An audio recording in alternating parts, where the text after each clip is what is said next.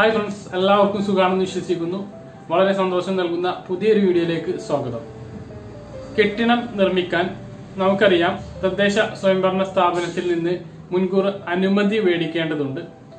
അത്തരത്തിലുള്ള അനുമതി ഇനി ആവശ്യമില്ല.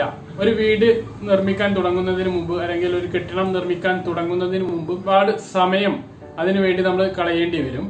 ആ ഒരു പ്രശ്നം ഇനിയില്ല. ഇനി മുൻകൂർ അനുമതി വേണ്ട എന്നുള്ള ഒരു തീരുമാനത്തിലാണ് എത്തിയിട്ടുള്ളത്. ആ ഒരു സന്തോഷകരമായ വിവരമാണ് ഈ വീഡിയോയിൽ നിങ്ങളുമായി പങ്കുവെക്കുന്നത്. അപ്പോൾ വീഡിയോ കൂടുതൽ ആളുകളിലേക്ക് എത്താൻ വേണ്ടിയിട്ട് നിങ്ങൾ ഇപ്പോൾ തന്നെ ഒന്ന് ലൈക്ക് ചെയ്യുക.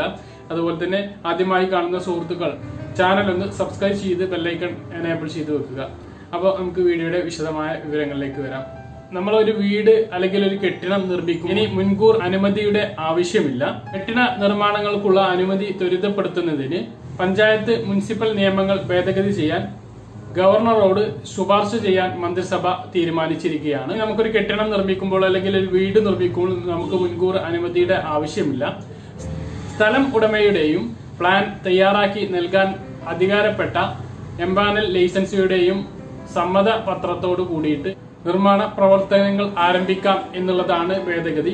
അത് സാധാരണക്കാരായ ജനങ്ങൾക്ക് വളരെ അധികം ഗുണം ചെയ്യുന്ന ഒരു കാര്യമാണ്. നമുക്കൊരു കെട്ടിടം നിർമ്മിക്കാൻ പ്രത്യേകിച്ച് ഒരു വീട് സാധാരണക്കാരന് നിർമ്മിക്കാൻ വേണ്ടിയിട്ട് തയ്യാറെടുക്കുമ്പോഴായിരിക്കും മുൻകൂർ അനുമതി പഞ്ചായത്തിൽ പോയിട്ട് വാങ്ങണം എന്നുള്ള ഒരു നിയമമുള്ളത്.